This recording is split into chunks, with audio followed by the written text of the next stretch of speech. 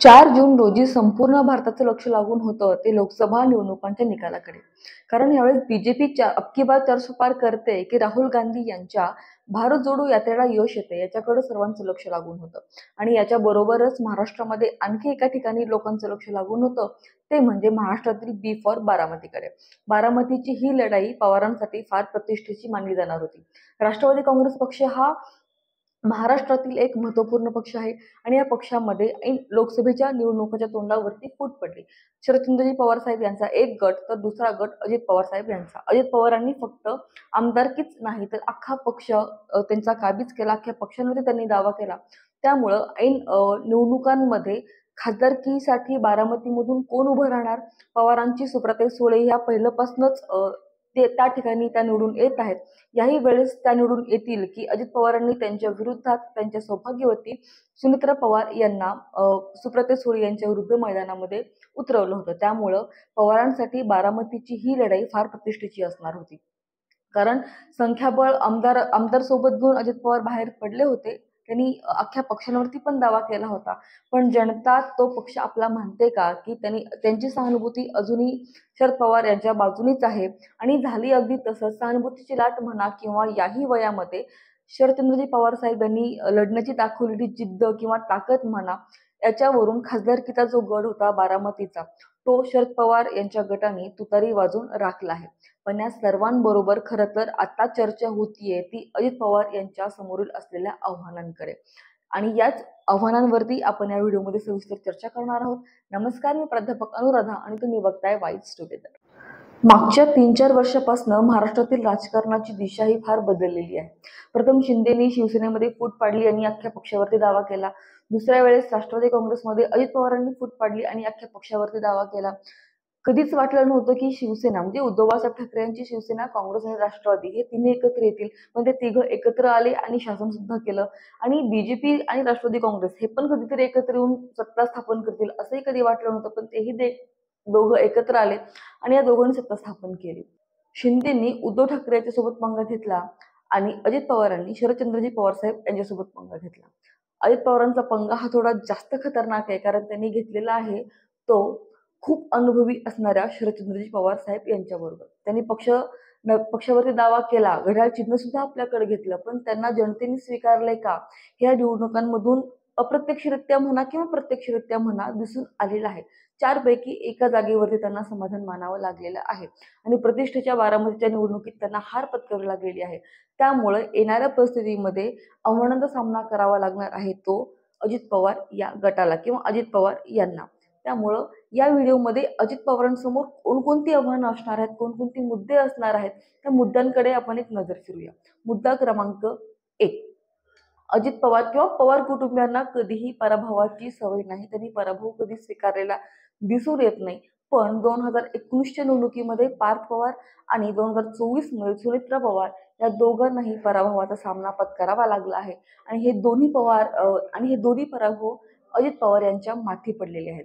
कारण पार्थ पवार हे अजित पवार यांचे सुपुत्र आणि सुनित्रा पवार या अजित पवार यांच्या सौभाग्य होती येत्या विधानसभेमध्ये अजित पवार हे आमदारकीसाठी थांबतील. आणि यात त्यांना पराभव मिळेल की यश मिळेल हे सांगता येणार नाही. कारण सुनेत्रा वहिनीसाठी त्यांनी फार जीव तोडून मेहनत केली होती. सुरेत्रा वहिनी म्हणजेच मी थांबलोय असं समजून मतदान करा असं आव्हान त्यांनी बारामतीकरांना केलं होतं. पण याच्यामध्ये त्यांना अपयश आलेलं दिसतंय.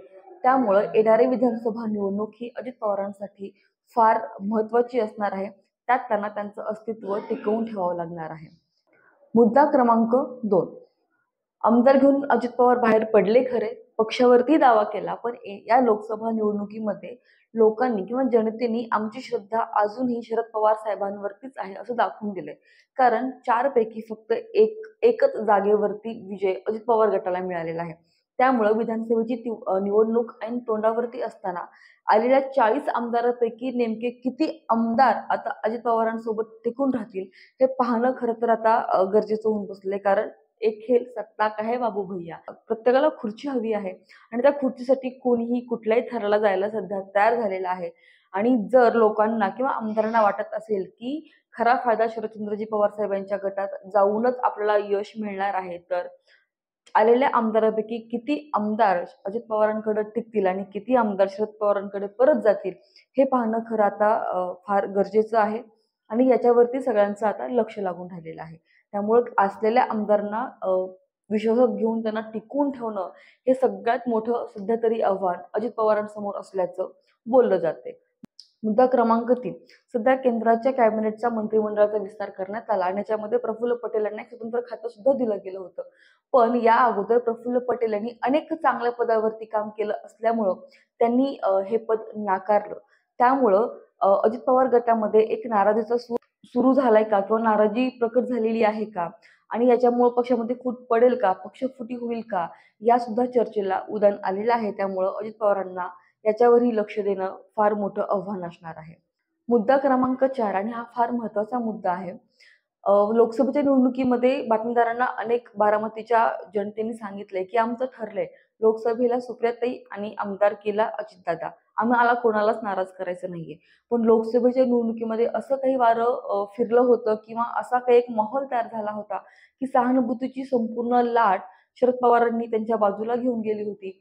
त्यामुळं येणाऱ्या विधानसभेमध्ये जर सेम असंच परत जर पाहायला मिळालं सहानुभूतीची परत लाट शरद पवारांनी त्यांच्या बाजूला घेऊन गेली आणि एखादा पवाराचा खंबीर नेता अजित पवारांच्या समोर उभा ठेवला आमदारकीसाठी आणि परत अजित पवारांना जर पराभवाचा सामना करावा लागला तर पवारांचं म्हणजे अजित पवारांची राजकीय कारकीर्द संपेल का? अशा सुद्धा चर्चांना सध्या उधाण आलेलं आहे. त्यामुळं याच्यावरती सुद्धा लक्ष देणं किंवा येणाऱ्या विधानसभेसाठी स्वतःची उमेदवारी जाहीर करून प्रचंड काम करणं गरजेचं आहे.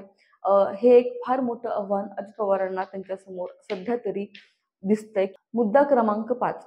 महायुतीमध्ये राहून निवडणूक लढवणार की स्वतंत्र निवडणूक लढवणार? हा सुद्धा एक मोठा महत्त्वाचा मुद्दा या ठिकाणी आहे. कारण तर महायुतीमध्ये जर त्यांनी निवडणूक लढवली तर त्यांना आहे त्या किंवा मिळेल त्या जागेवरती त्यांना समाधान मानावे लागेल. आणि जर स्वतंत्र निवडणूक जर त्यांनी लढवली तर त्यांना संपूर्ण जागेवरती त्यांना त्यांचे उमेदवार उभे करता येतील.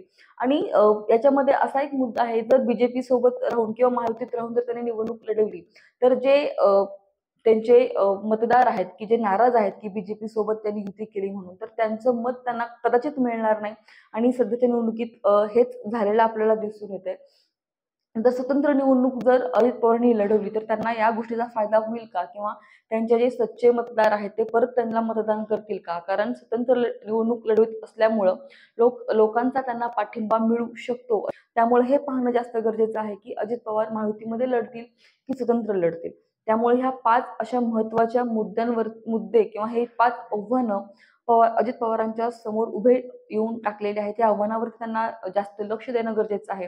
कारण विधानसभेमध्ये त्यांचा पराभव झाला तर त्यांचं खरंच राजकीय कारकीर्द अंधारात जाऊ शकते किंवा राजकीय कारकीर्द संपेल असं एक फार मोठी चर्चा राजकीय वर्तुळामध्ये घडून येताना दिसते आणि आलेले आमदार टिकवण्यासाठी त्यांना विश्वासामध्ये घेऊन एक चांगली मजबूत संघटना तयार करून त्यांना त्याच्यावरती काम करणं जास्त गरजेचं आहे. जेणेकरून येणारी विधानसभा निवडणूक जे आमदार आलेले आहेत त्या आमदारासोबत एकत्र लढवून त्यांना ती मोठ बांधावी लागणार आहे. अजित पवारांसाठी ही एक नवी सुरुवात ठरेल असं म्हणायला हरकत नाही. तुम्हाला काय वाटतं? याच्या व्यतिरिक्त अजून कोणकोणते मुद्दे तुम्हाला जाणवत आहेत किंवा अजून कोणते मुद्दे असणार आहेत की जे अजित पवारांना आव्हान आव्हान असतील? त्या मुद्द्यावरती नक्कीच ते मुद्दे आम्हाला कळवा. आणि व्हिडिओ कसा वाटला हे कमेंटमध्ये कळवा आणि व्हिडिओला लाईक करा शेअर करा आणि सबस्क्राईब करायला विसरू नका. धन्यवाद.